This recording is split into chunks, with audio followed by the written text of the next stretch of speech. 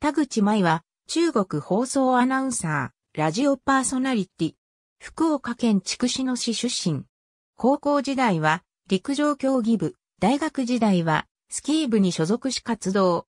福岡双葉学園を経て、上智大学を卒業後1997年に中国放送に入社。ニュース番組から情報バラエティ番組まで幅広くこなしている。2006年と2010年と2015年に男児を出産しており、3児の母親である。身長156センチメートル。2013年6月3日、2012年8月6日にアーサー・ビナードと響かん MC3 人の青山隆治、岡かな、田口舞が広島平和記念公園から3時間生放送した日々感謝。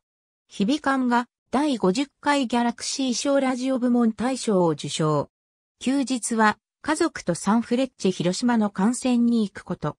エディオンスタジアムお気に入りの観戦場所はバックスタンド自由、シートアウェイ側より。ライオンスポーツスペシャル RCC 広島女子駅伝に毎年参加している。42歳からブラックコーヒーを好む。上記2番組は出産、育児休暇に入るために降板し、どちらも公認には吉田美幸アナウンサーがついたが、吉田美幸アナウンサーが2度目の出産、育児休暇に入るため田口舞が約2年ぶりに番組に復帰することになった。ありがとうございます。